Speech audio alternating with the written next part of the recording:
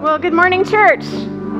How are you today? It's good to see you. It's good to meet new people today. That's always fun. So, I want to just say welcome to you. My name is Kaye. If you're visiting, I'm one of the pastors here. We are so glad you're here. We are in the middle of a series called The Way. We've been looking at stories from the Gospel of Luke about what it really means for us to follow Jesus. So, just to catch you up, we've already looked at what it means to prepare the way, to live in the way of the Spirit, to live the way of the kingdom. And today we're going to be talking about the way of love. And so that theme, the way of love, could really encompass anything about following Jesus, of course, but you'll see where I'm headed as we get into our story this morning. Last week, we were in Luke chapter 6, in this famous sermon, this message that Jesus gives about what it would look like if we actually live in the way of the kingdom, how things would be different for us. And then at the end of the message, Jesus looks at the people who are listening and he talks about this idea of seeing clearly. It's really important for us to see clearly what actually doing the words of Jesus would look like. And not only that, but to see ourselves clearly at how we're doing in that. Are we reflecting God's glory? Are we making Jesus known? for how we're doing. We need to see clearly. And so, then, interestingly, this theme of seeing is something that you can find all throughout, especially the Gospels, because do you know, church, that Jesus, God in the flesh, is all about revelation? And revelation merely means for us to see, for something to be unveiled, for us to finally perceive it. And so, God in the flesh was Jesus coming to show us what God is like his character, his action. And so in Luke 10, which is where we're going to be today, and there's notes in your program if you want to follow along there. In Luke 10, the story just before the one we're going to read today is Jesus sending out 72 disciples, and he sends them out, and they get to see amazing things. He sends them out to preach the gospel and heal and cast out demons, and they come back so excited. And Jesus basically looks at them and says, Let's remember what's most important here. It's what God is doing and how you get to be a part of it. And then he said in verse uh, 10 23, Then Jesus turned to his disciples and said privately, Blessed are the eyes that see what you see. This idea that he went on to explain to them that kings and prophets of the olden days longed to see what they were seeing, something new revealed in Jesus. And so he's saying, Blessed are the eyes that see what you see. And you know, church, this is for us today too. Blessed are you to get to see what you see revealed in God. And so today we're going to be in a story that some of you have probably heard a couple times before, to put it mildly. But let's pray together right now that God would help us see something new today. Let's pray. Heavenly Father, we are so grateful for your word.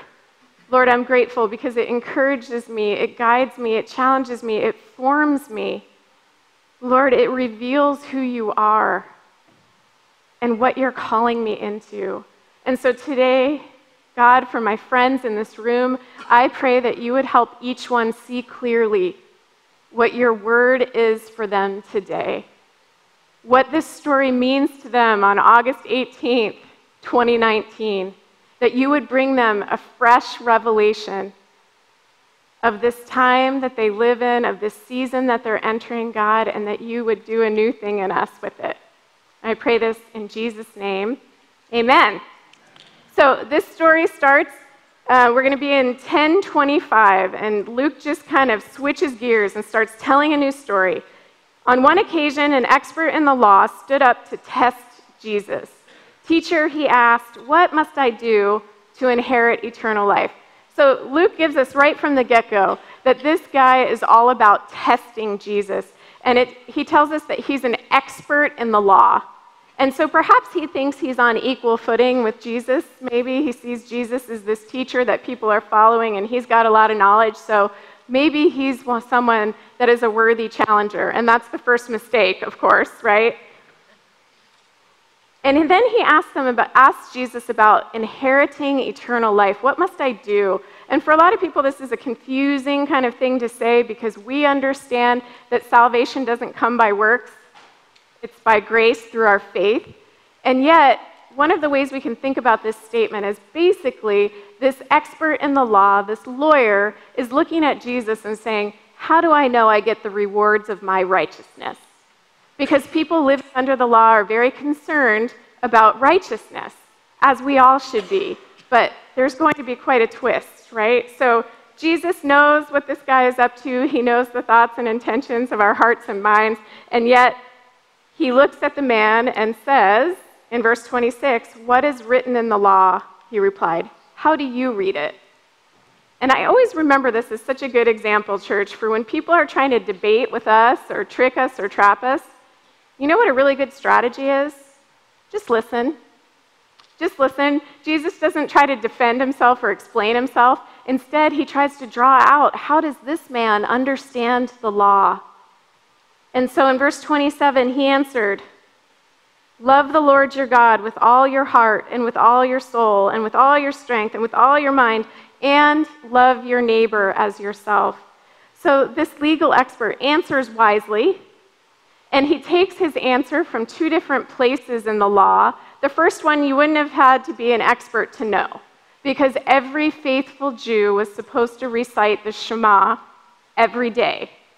And that is what we find at the beginning of it. It comes from Deuteronomy chapter 6, when Moses was about to lead a new generation into the promised land. In Deuteronomy 6, verse 3, Hear, Israel, and be careful to obey so that it may go well with you, and that you may increase greatly in a land flowing with milk and honey, just as the Lord, the God of your ancestors, promised you. Now, this is the part that they would have been reciting daily. Hear, O Israel, the Lord our God, the Lord is one. Love the Lord your God with all of your heart, all your soul, and with all of your strength. These commandments that I give you today are to be on your hearts. And so clearly there's a recognition here that the heart of the law was always about relational connection. It was always about God having a people and the people being able to say, That's my God. And there would be this loving relationship. But then also, the lawyer adds on, Love your neighbor as yourself. This is a command that comes from the book of Leviticus. This place that's kind of in a long, to us, from our perspective, might look like a lot of random commands, like what kind of fabric you're allowed to sew together and where, what you should plant in your field, which animals you're allowed to breed together, and then this Leviticus 19:18. Do not seek revenge or bear a grudge against anyone among your people, but love your neighbor as yourself. So, as this lawyer, as this legal expert puts together these two ideas, what he's really doing is representing the Ten Commandments and encapsulating that, right? The first five of the Ten Commandments are about our relationship with God, loving Him with all that we are, serving Him only. And then the second five are about our relationship with people. And so, indeed, he's answered with a lot of insight. He knows something about the law. And Jesus when he's asked in other places in the gospel, Teacher, what's the greatest commandment? Jesus gives basically this very same answer, right? So he's answered well. And although Jesus knows his motives, he commends him in verse 28. You have answered correctly, Jesus replied. Do this, and you will live. Well, it's the difference between knowing something and doing something, isn't it? This is where the trouble begins for the legal expert. Jesus challenges him do this. And this is the same thing we saw last week. It's not just a matter of hearing my words, but it's doing them and practicing them that really glorifies me and changes your life. And so Jesus is looking at this man, commending him for his answer, but also putting a challenge in front of him. And that challenge is merely go do this. Do this, and you will receive the rewards of righteousness. He's saying to him, in essence, Live the law of love, not by the letter of the law. And this is our main idea for today. Live the law of love, not the letter of the law. So, of course, a, a, lawyer would know the letter of the law. He has the knowledge, he has the expertise. But Jesus is saying there's something that truly fulfills all this law that you've spent so much time memorizing and teaching and trying to adhere to because the law was always intended for people to understand their need for forgiveness. The law was always about us seeing that we would never be able to keep up, we would never be able to perform perfectly, and we need a Savior.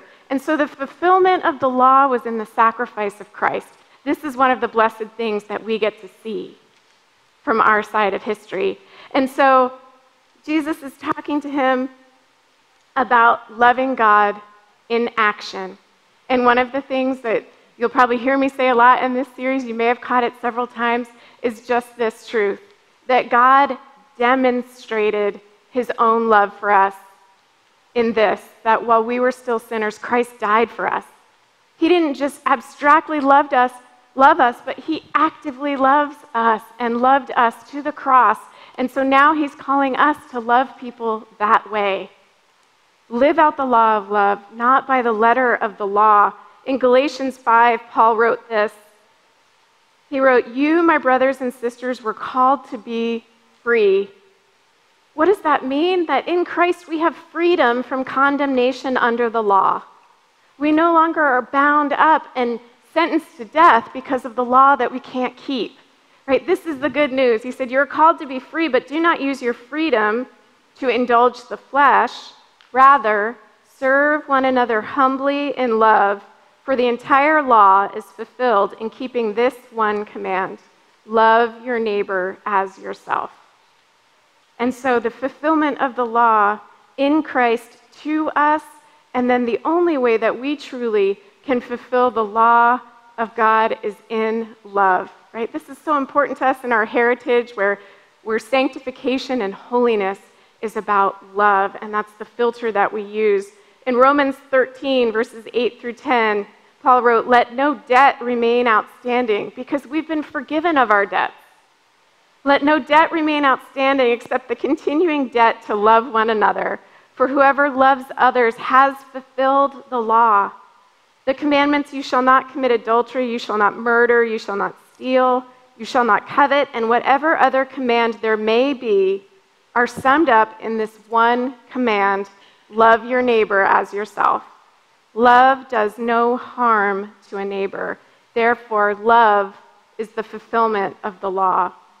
But the lawyer knows the letter of the law, doesn't he? And what Jesus realizes is that this man, although he has insight into the law, he doesn't have adherence to the heart of the law. So there's a big difference. And right here, I say this also quite a bit that in the scripture, when you see the words but, it's always really important. There's some contrast that's going to teach us something or help us understand.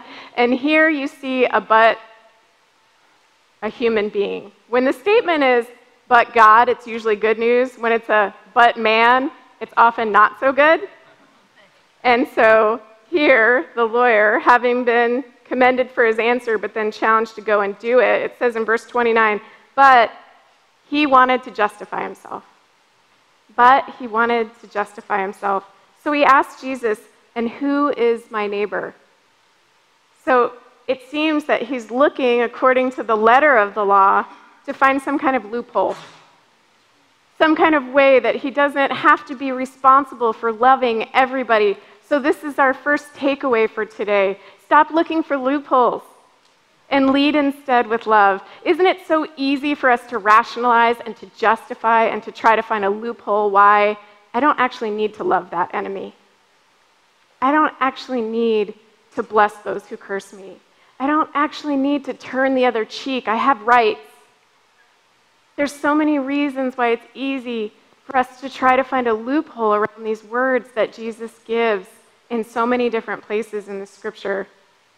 The lawyer is looking for qualifications. He wants to know who is my neighbor? Who are the ones that I don't have to bother with? And who are the ones that I should go love? And he may actually be adhering to the letter of the law because if you caught it in Leviticus 19, there is a little phrase that says, among your people. And so perhaps he's living according to that letter of the law that I don't really have to love everybody, just the ones who are already my people.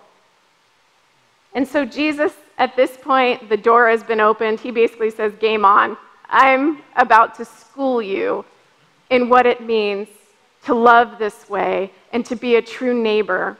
And so, this is nothing new for situations that Jesus gets in. You know, a lot of times in the gospel stories, he has religious people and, and Pharisees and scribes who try to challenge him. They try to test him. They try to trap him with the letter of the law. And again and again and again, what you see is Jesus not willing to be constricted and confined by the letter of the law, but expressing to people this is what it's like when we live the law fulfilled in loving others. And so that's where he's going. Verse 30. In reply, Jesus said, A man was going down from Jerusalem to Jericho when he was attacked by robbers. They stripped him of his clothes, beat him, and went away, leaving him half dead. A priest happened to be going down the same road, and when he saw the man, he passed by on the other side. So, two characters so far in this story a man that's a terrible victim of crime, beaten, bloody, naked, helpless, and then enters a priest who, according to this audience, the expectation would be this is the hero of the story. Because priests were highly esteemed and respected, priests were the only ones who got to enter the holy place and offer sacrifices for the people. Priests were actually the ones who were mediators between God and man. So, this expectation that their righteousness must exceed the righteousness of others was very prevalent, was there. And so, Jesus does something already that's going to make them sit up and take notice. The hero of the story is not the priest. And if you read commentary on this or you've heard other messages, which I'm pretty sure if you've been in a church, you've, you've heard some other messages on this story. And what people often like to talk about is the fact that if he would have touched the man, he would have been unclean to perform his priestly duties. And we don't know if that's true. The, the scripture doesn't tell us, it's not here in the text. But maybe that was the reason why he didn't want to approach. And even if that is the reason why, over and over again in the Old Testament, the Old Covenant, God speaks, especially through his prophets, to keep telling his people, I don't want your religious activities if your heart is not in it. He says, I don't care about your sacrifices. I don't care about your fasting. I don't care about your rituals and ceremonies and traditions because your heart is far from me. In Isaiah chapter 58, it's this passage about God saying, You keep fasting, you want to seek me with fasting, but you're not doing the real kind of fast that I really desire, which is this in verse 7. Is it not to share your food with the hungry and to provide the poor wanderer with shelter? When you see the naked, to clothe them, and not to turn away from your own flesh and blood. So, actually, this parable that Jesus is telling just parallels this statement from Isaiah, doesn't it? Because here's the priest turning away from someone who needs shelter, who needs clothing, who needs compassion and loving mercy. And yet the priest goes on his way. So, whatever his motivation was, Jesus just moves on. The priest becomes a bit character in the story. Verse 32 So too, a Levite, when he came to the place and saw him, passed by on the other side. So, Levites, also descendants of the tribe of Levi, they're kind of like second tier to the priests. The Levites also had important duties to be performing, and it tells us in Deuteronomy 33:10, it says, He teaches your precepts to Jacob and your law to Israel. He offers incense before you and whole burnt offerings on your altar. It was the Levites' job to be doing work around the temple, but also to be teachers of the law, which means he too would have been just as aware of these same commands that the lawyer cited at the front of the story. He would have been aware, and yet, perhaps he's so focused on his religious duties that he doesn't stop to show compassion. And I think there are lots of times where we're so focused on church stuff and what church is doing that we miss the people right in front of us that need Jesus' love and compassion. It's a situation that hasn't changed too much. But when we look at the life of Jesus, we see that Jesus was interrupted time and time again on the way to do ministry to do something powerful out of love and mercy for someone. And so, church, we need to keep our eyes open for the ways that God gives us these opportunities.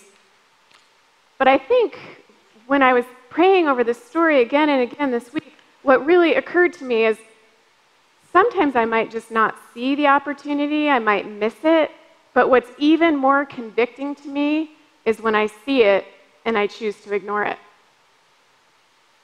And maybe I see it and I choose to ignore it because it seems like a really messy situation. I don't know how to fix it, so I'm just not going to go close. Maybe I choose to ignore it because this would have been a really dangerous road and clearly other people got attacked and beaten, so I don't want to risk myself to help someone else. Or maybe I'm really worried about guilt by association. Like, what if somebody sees me with the naked guy in the ditch? And then what are they going to think? And I think at different points, just being totally honest and transparent, I have used all of those justifications to not move towards someone in love. I used to drive to my office at my previous church past a corner that had homeless people on it all the time. And I can tell you there were days when I felt, not every day, but days where I felt the Holy Spirit nudge me, turn around,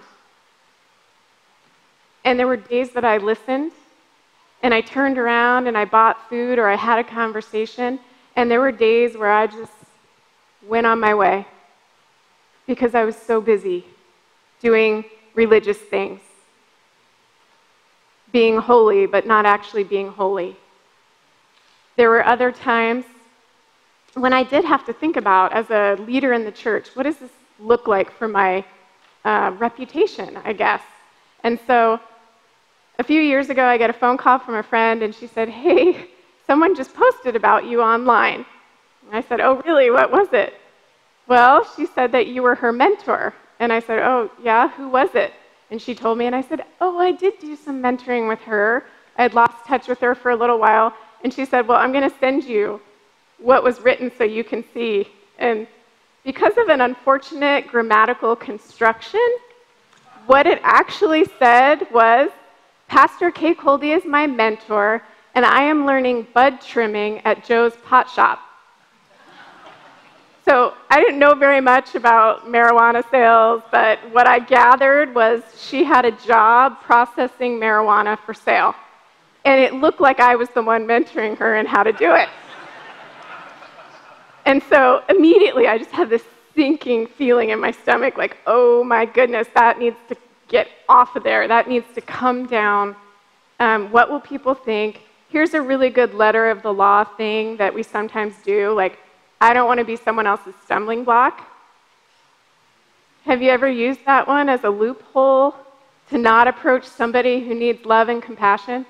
And so I was really ready to track her down. I figured I could find her and ask her to remove that statement. And she was always very respectful. And I thought, she probably would do that for me so that it doesn't look bad.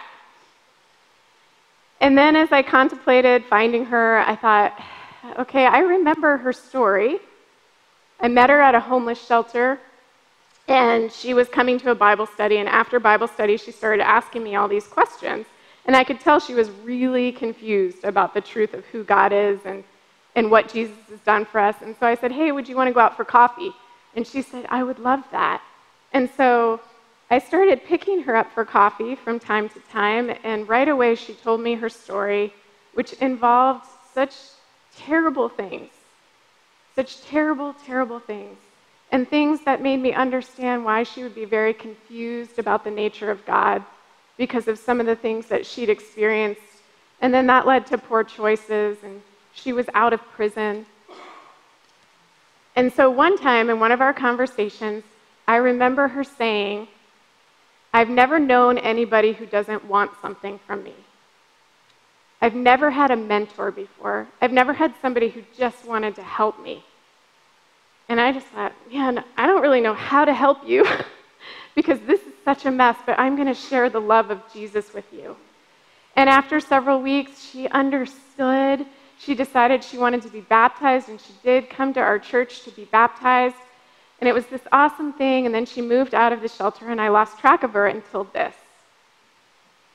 And so there I am faced with this okay, what do I do? Do I ask her to take this off? And what Holy Spirit really impressed on me was if I go to her and say, please don't tell people that I'm your mentor, all I'm doing is heaping more shame on her. And that the loving thing to do would be to find her and just say, How are you doing? How are you doing? Um, so in Washington state, pot shops were legal. This was like her first legal job in a long time. So in her mind, she was on the right track. She was clean from drugs. And I just encouraged her and loved her. But it was one of those chances where I had the opportunity do I move towards her in love, or do I keep my distance because I'm too worried about myself here? So, not every time have I made the right choice, but that was one of those times that just blessed me to know that God would use me. And, church, God will use you because there's nothing special about me. God will use you if you make yourself available to people. So, Jesus, looking at what the priest and Levite had done, he's now going to introduce another character, right? They had seen the man and avoided him for whatever their reason might be. We're not totally sure. But verse 33, now Jesus throws a but in the story. But a Samaritan, as he traveled, came where the man was, and when he saw him, he took pity on him. This is a huge plot twist for the people listening. They despise the Samaritans, they consider them sinners. They've been enemies of the Jews, basically. In the previous chapter, just in Luke chapter 9, his disciples are sent ahead into Samaria to prepare for Jesus, and they're rejected by the Samaritans. And so, two of Jesus' 12 look at Jesus and say, Hey, should we call down fire from heaven on them? These are two of the men that just heard Jesus preach love your enemies, bless those who curse you. And so his own disciples have such a deep seated belief and feeling about the Samaritans that even they can't see this idea that maybe they're the neighbor. And Jesus puts it right in the parable, and it's a plot twist for sure. Goes on and says in verse 34 He went to him and bandaged his wounds, pouring on oil and wine. Then he put the man on his own donkey, brought him to an inn, and took care of him. The next day he took out two denarii and gave them to the innkeeper. Look after him, he said, and when I return, I will reimburse you for any extra expense you may have. So instead of just feeling some compassion or thinking about being compassionate, the Samaritan was the one who acted on loving compassion. The Samaritan is the one who takes action. Look in these two verses, right here, 34 and 35. Look at the verbs. This is what we call just observing, to have an understanding of what's going on. If you look at the verbs, it says he went, he bandaged, he poured on, he put him, he brought him, he took care of him, he took out money, he gave it, and then he said, I will return and I will reimburse. This is someone taking action to show compassion in love. And so, this is our second takeaway for today. Recognize and respond to opportunities to love your neighbor. Unlike the priest and the Levite, who it tells us they saw the man and went the other way, the Samaritan moved towards him took action at personal expense and risk.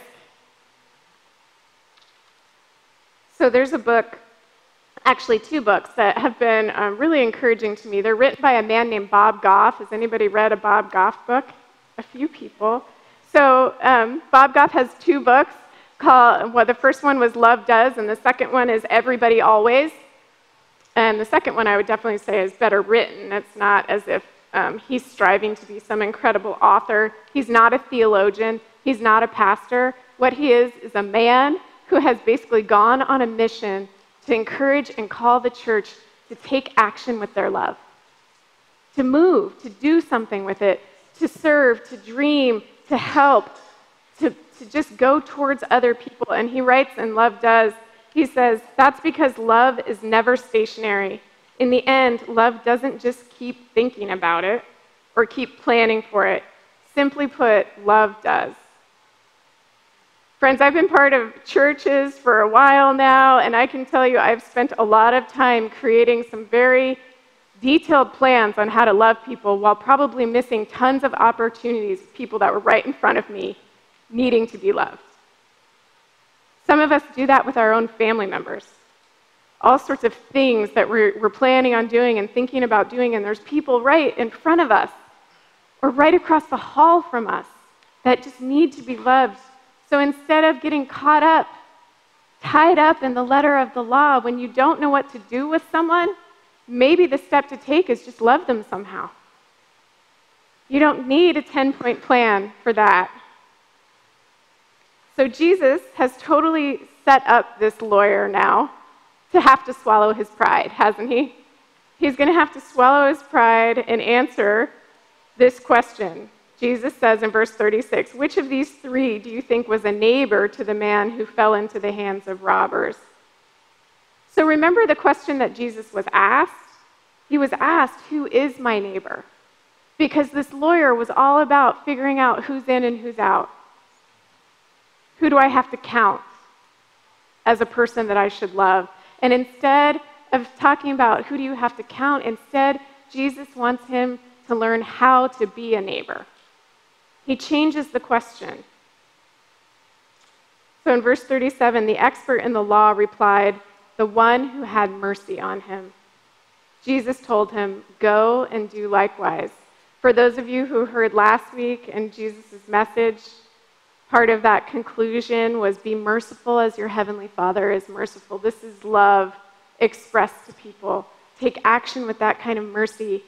And so the lawyer declares, yes, it's the Samaritan who had mercy. And Jesus is looking at him, bringing him something entirely new and different. Because the old way for the Jews, for the people of God, the old way was what's now an old wineskin the old covenant, but Jesus is bringing them a new wineskin for a new covenant of grace, where we fulfill the law by being love in action the way Jesus did on our behalf.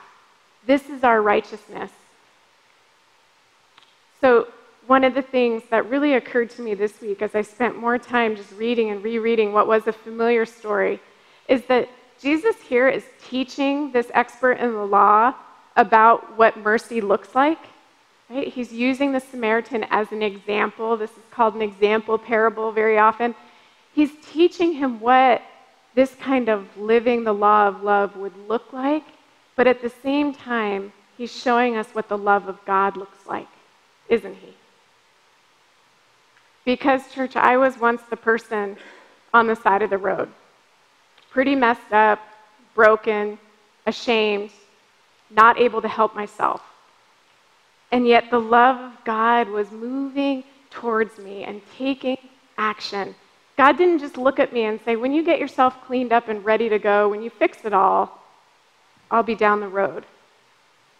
And this is the kind of love that we get to see, that we get to experience.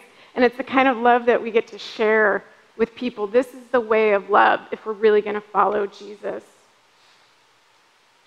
The other thing that I noticed about this story when I was getting to the conclusion, Jesus teaches him what mercy looks like, what the love of God actually is like, but he doesn't just teach him about it. He doesn't just tell him what mercy would be like. Jesus actually shows him mercy. Do you know why Jesus shows the lawyer mercy? Because he could have just smacked the guy down in judgment, couldn't he? He was wrong. He had bad intentions. He wasn't living out the way of love. But instead, Jesus responds with such great mercy. Jesus just looks at him and says, Go and do likewise. This is part of the mercy of God that we're always invited. No matter what we've been doing, we're always invited to step into the way of love. So Jesus demonstrates this mercy also to the lawyer, to the expert in the law. Next week, we're going to hear quite a bit about Jesus' warnings to the Pharisees, but all of that warning comes in the context where Jesus didn't stop having dinner with the Pharisees. He didn't stop moving towards them and issuing the invitation and inviting them to be free from the works of the law and step into the way of Jesus. So, for some of us, maybe we have a really hard time approaching people who are just kind of a mess in very obvious sin. Maybe it is because we don't want to be considered unclean, we don't want to ruin our reputations, we don't want to take risks. But then for others of us, do you know the people that are hardest to move toward are the legalists? The people who seem to be lacking in grace and mercy, the ones who probably know the rules the best but don't seem very loving. But Jesus never stopped moving towards those people. And so for us, whichever side of the coin you find yourself facing, the answer for us is live out the law of love. We can recognize and respond to every opportunity in front of us, whether it's being called to the person who's a cranky legalist or being called to the person who's kind of a mess and struggling and broken, or maybe just experiencing circumstances in the world that have left them broken. So, as the worship team comes back out, we're going to have response time together. This is what J.D. Walt said. He said, This story of the Good Samaritan, this is not a question of who is my neighbor. The big question is, how do I be a neighbor? In a stroke of divine irony, this story shows us that the natural heirs of the kingdom, in the parable, that's the religious people, least resemble the righteousness of God, and the avowed enemies of the heirs of the kingdom are lifted up as the exemplars of God's righteousness. Church, we are now the heirs of the kingdom. We're the one that gets to receive the rewards of righteousness. And God looks at us and calls us to righteousness through loving people and loving Him. And so today, in response, maybe your response, we've been saying the altar is open, and you're welcome to come up here for any reason. You need any kind of prayer from someone else or with someone, you can come up and pray by yourself.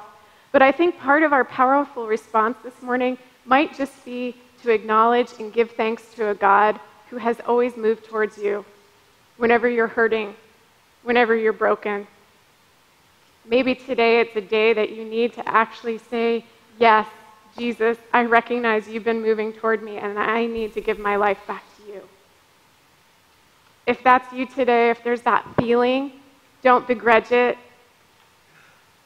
Come forward and pray. And if you need any other prayer, healing prayer, the altar is open. Let's use this time to really be in the presence of God and respond to His word.